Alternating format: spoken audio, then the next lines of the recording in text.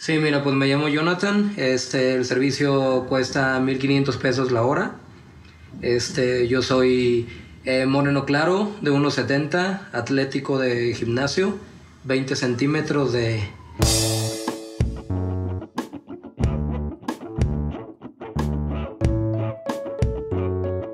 Desde que era un niñitito de 4 o 5 añitos, era el niño más afeminado que te podías encontrar en todos los alrededores, ¿no?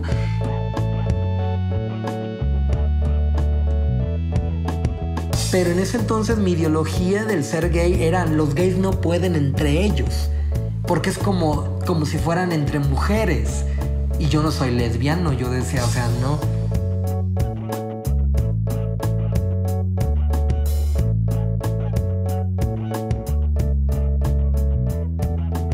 Yo lo único que siempre supe, y todo el mundo supo, mi familia, el pueblo en general, es que me gustaba bailar.